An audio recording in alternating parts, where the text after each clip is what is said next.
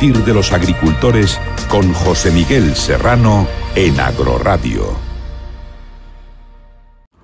Muy buenos días, soy José Miguel Serrano, compañero de Agroradio y en la mañana de hoy, pues bueno, me gustaría comentar una situación que probablemente pueda aparecer en nuestros cultivos, tanto de, pues bueno, sobre todo en cucurbitáceas, ¿no? Pues bueno, llevamos más o menos varios días con unas humedades altas, por lo que eh, son condiciones muy óptimas para la proliferación de hongos y bacterias. En el día de hoy me gustaría hablar de, un hongo que, bueno, que como he dicho, pues en cultivos de sobre todo sandía y melón, pues son más propensos ya que es más propenso a las cucurbitáceas. Es el caso de la micofarela.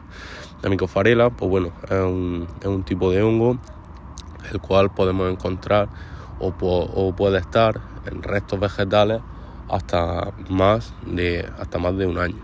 En tiempos húmedos, como he comentado, pues la proliferación y la rapidez y el ataque a un nuevo cultivo que podamos tener trasplantado, pues es más, es más propenso a que, a que le, produzca daño.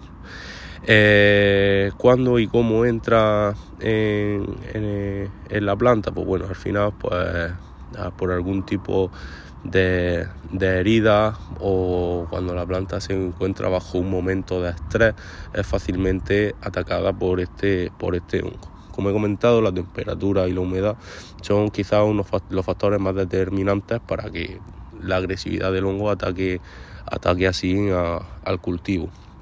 En cuanto a humedades, a partir del 60%, pues bueno, es cuando comenzamos a que posiblemente pues bueno, empieza a tener unas condiciones óptimas de desarrollo. Y en cuanto a temperaturas, pues rondando los 20 grados. Condiciones que en estos últimos días pues se dan, mm, vamos, se dan de calle, ¿no? se, dan de, se dan de sobra.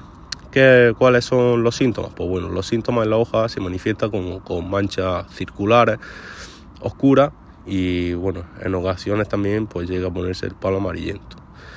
Eh, por la general, donde vamos a a comenzar a ver la, pues bueno, la infección es como por el filillo de las hojas, como un marchitamiento y ya avanzando casi al centro de, la hoja.